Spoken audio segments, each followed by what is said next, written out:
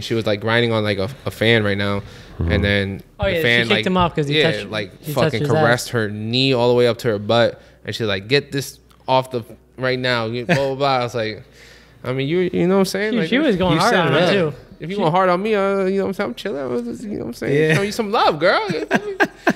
Can't complain.